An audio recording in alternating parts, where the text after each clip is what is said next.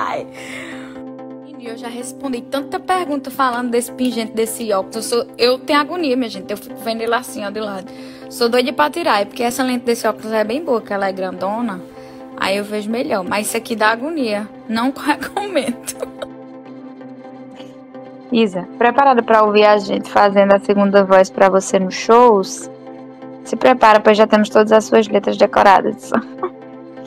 eu quem mais quero, minha gente. Quando eu tiver com medo, quando eu tiver errar a letra, quando eu tiver cansada, quando eu tiver qualquer coisa, é vocês vão cantar.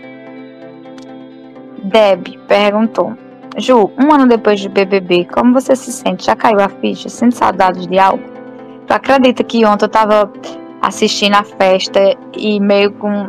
Eu não sei se é porque eu tô, eu tô presa, né? Tô dentro do quarto direto, porque tem mais essa.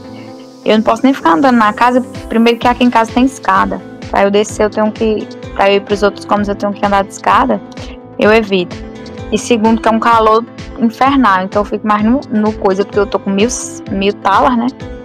Aí, enfim, aí eu tava assistindo o BBB e tava vendo a festa. E eu, ai, minha gente me deu uma coisinha no coração. Eu, meu Deus, eu quero uma festa.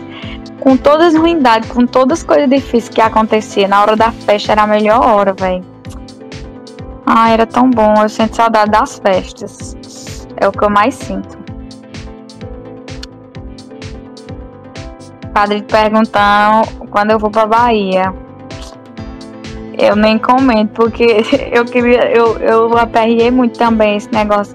Mas tá em negociação, posso falar não. É um, uma das cidades que também tá em negociação. Que, que tá resolvendo. Posso falar não. Mas tá resolvendo. Várias cidades, como por exemplo Salvador, estavam em, em negociação.